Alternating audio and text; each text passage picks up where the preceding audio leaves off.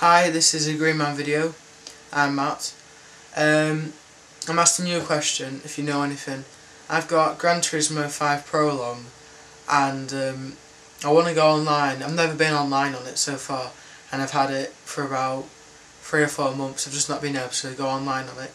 And um, whenever I go onto the online option on the main menu on the game, um, it says I need to do an update, and so I click on update, and about halfway through updating, um, it just says error something, and you just try it again and it just says error. So basically, it's just not allowing me to update it so that I can play Gran Turismo 5 Prologue online. So um, if you know anything, why it does it, or maybe there's something faulty with the disc, or whatever it is, if you know what it is, tell me. Um, that'd be really good if you could, if you know. So um, thank you for watching this video. See ya. Bye bye bye bye.